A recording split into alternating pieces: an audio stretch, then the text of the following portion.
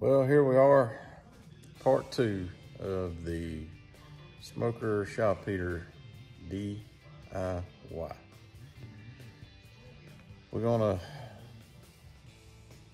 take y'all through the next steps as we go along and show you what we're gonna do today.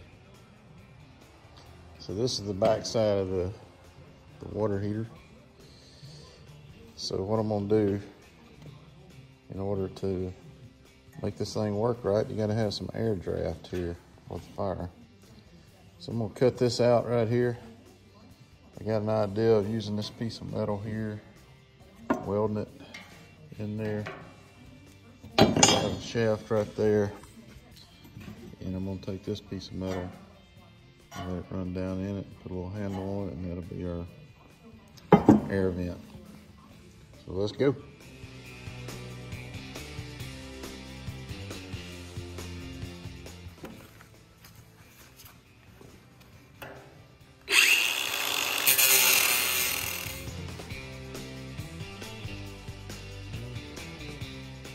Decided to put a little piece of screen on here, keep any embers maybe from coming out. Let's see how that works.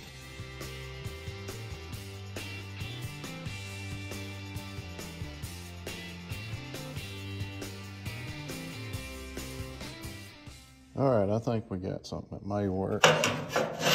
This uh, slide up and down. Thing. Hmm. Just what we're looking for.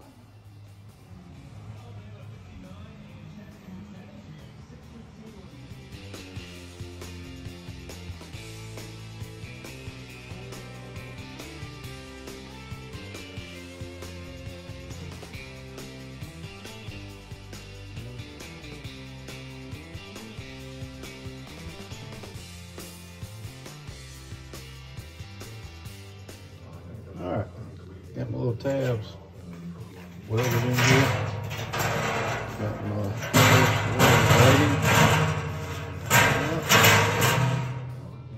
there like that. Probably put a little knob or something here because I'm going to be able to lift this up and scrape the ashes out.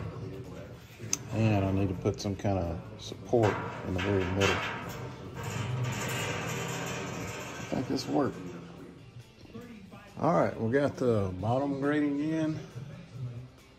Still got to put a some type of bracket in here in the middle. So it's pretty steady. And I got the second bracket put in. This is where we'll set your water bowl. And then I'm gonna put two or three more back up here. So far, so good. Thanks to the old lawn chair. All right, that's it for part two.